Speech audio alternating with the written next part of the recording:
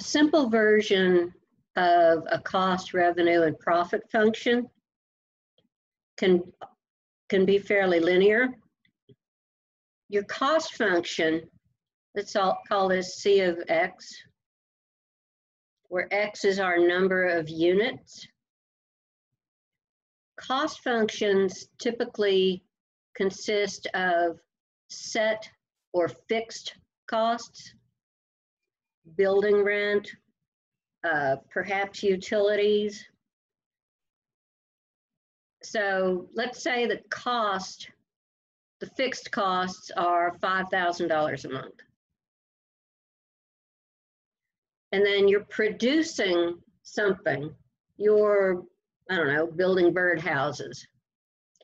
And the cost of making one birdhouse with the wood and the nails and the paint and the glue and labor is perhaps uh, $10 a piece. So because this is a unit cost, that would be 10 times X.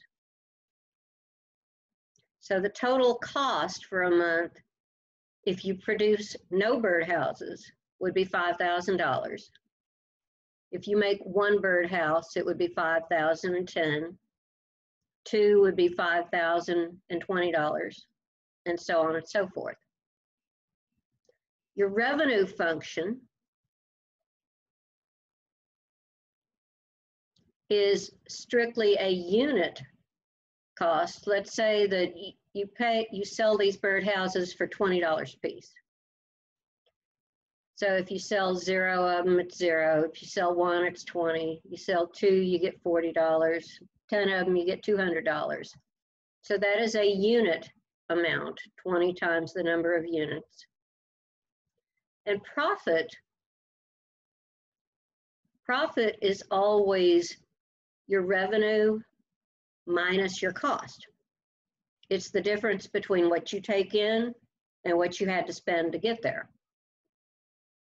So it's the revenue, how much money you take in, minus the cost. And 90% of the time, when somebody makes a mistake on this, it is because they didn't carry this negative through. Your profit is $20 times the number of units minus the $5,000 fixed cost you have minus the $10 per unit that it costs to make. So you're actually making a profit of 20x minus 10x would be $10 per unit minus the $5,000 in fixed costs. A break-even point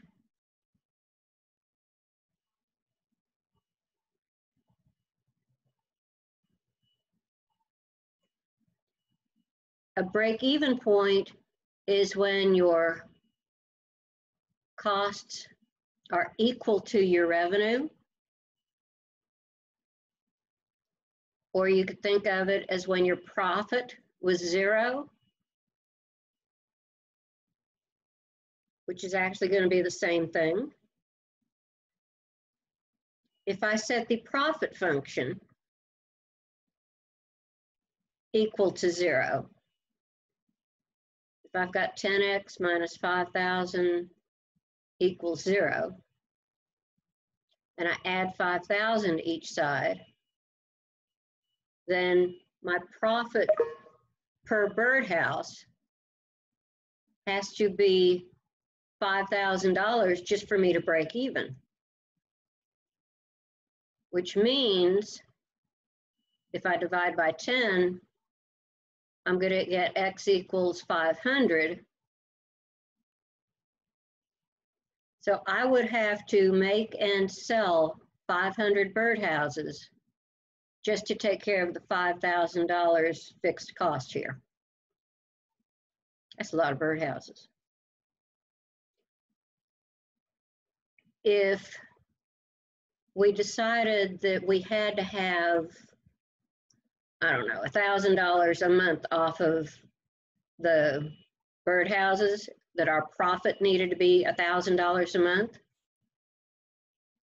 Then we could set the ten X minus five thousand equal to a thousand, so we want the profit to equal a thousand dollars. Add the five thousand to both sides.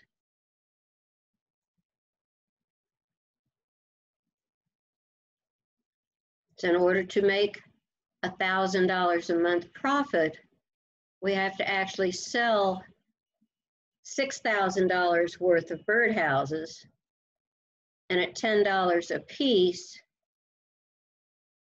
that would be six hundred birdhouses.